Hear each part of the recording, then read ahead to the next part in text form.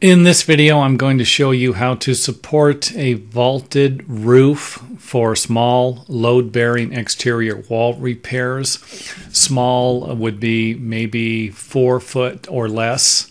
Um, it could stretch up to six feet, but uh, you might need additional support for uh, larger wall repairs, and I'll try to make a video on that in the future also. Let's go ahead and take a look at kind of where the damage would be for a repair like this. If you have a, a, framed floor, a wood framed floor, and you have some damage to your joists, maybe to the plywood, where you would need to support the wall because you'd be removing structural wall framing studs or posts, something like that, then uh, this method might work for you let's just go ahead and kind of zoom around, get an idea of what we're looking at. I removed another section or the other section of the house so that we could have a better idea um, what we're looking at and what type of support system we're going to use. Here's the first method and probably the most common that I have used. This would be to build a supporting wall, install some type of a framing plate. Um, you might want to level out the dirt. Um, and something like this, you can always use like a 4 by 12 or a 4 by 10 if you're looking for a little more support or stability. Um, but you could always do this by um, just kind of flattening the dirt out or using blocks, something to give you some extra support. Now, where you put the wall, how, how far away from the exterior wall will depend upon the repair. You might need to give yourself a foot. You might need to move it a little farther this way. The closer to the wall, the less the distance that the rafters will have to span to carry the load. Remember that some roof rafters uh, might be designed for a 12 foot span, and if you start to bring this wall into a uh, 13 or 14 feet span, uh, then uh, you might uh, end up, uh, you could weaken the structure. I doubt if it would fail, but uh, it would be definitely something to consider. So I like I like to keep these walls as close as I can, depending upon the type of repairs. If you got got to knock the stucco off or something like that, you're not going to want these wall studs in your way, and might need to go to where you support the wall on the inside. This right here, uh, I have two two by fours. Um, you can use two by six, and one of them is going underneath the rafter and the other one is next to the rafter. This way you can nail or screw the stud into the rafter. You can screw or nail the two studs together. And you can always use one um, wall stud if you want and maybe put a put some type of a flat piece of building hardware on here where you can screw into it some type of a framing plate you know you can uh, just get find something like a flat A35 and screw it into each to make a nice connection. I mean, the last thing you want to do is nail this thing in or, or do something and have your wall exposed and uh, have one of these things come apart. So a screw would be nice. Screws would be nice for something like that. You can always use supporting walls on the inside and do not forget that if you are doing something like, this on a concrete foundation, you probably won't have a problem. You can just uh, put a 2 by 6 or 2 by 4 something like that on the bottom.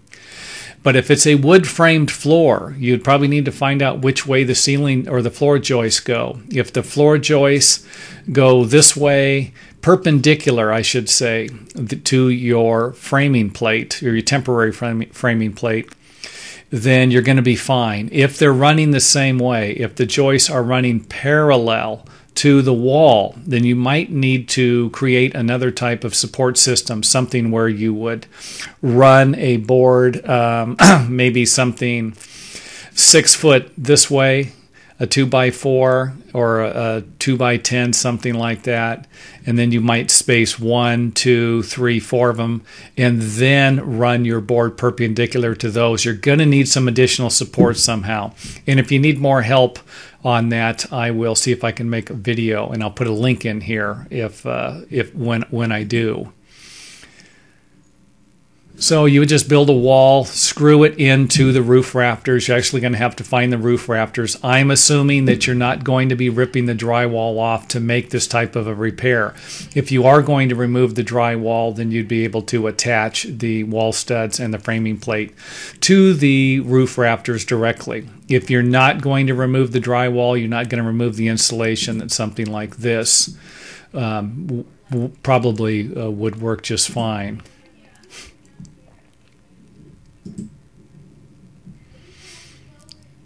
Framing plate, again, you can always use a bigger plate, um, 2 by 10s 4 by 10s something like that. Same thing applies on the outside. And you might need to build two different walls. You might need to have one wall on one side of a wall, one wall, one wall on the other side. Another thing you might consider is building a partial wall on the outside. If you have something in the way, you could have uh, plants in the way, something that you're not going to be able to, uh, something that won't carry a lot of weight or support. You might have a a deck in the front that uh, not very strong. You can always build a partial wall in the front and then use a partial wall in the inside. And you, if you're looking for some extra support, you might have a tile roof. You might have a a um, roof with a lot of weight on it somehow, um, some type of a heavy roof, larger framing members. Um, then you might want to build a wall on the inside and a wall on the outside to get some extra support. The main thing you're going to need to consider is to is to not build the wall, avoid building the wall in the way of the repair area. If you need to get to this area here and you have a wall up against it, it's going to be difficult to work on. So give a little bit of thought into this before you figure out where you want to locate the walls and uh, make sure that you're not uh, putting them in your way and you won't be able to do any work or put them in the way you know and, and again these are all mistakes i've made. That's kind of why i'm sharing them with you. I've built walls like this and then i couldn't open the door to get uh, in and out of the house and had to walk all the way to the back go through the um, back of the house because you know because i'd blocked this area off like a numbskull. So uh, little bit of wisdom there I'm sharing with you. Hope you don't make the same mistakes. And remember, these are just examples. These are not the only methods or the, the most effective, um, the best uh, out there. And things change. If you have a better idea, feel free to leave it in the comment area and maybe I can make a video out of it uh, and attach a link to this one and share it with others as well.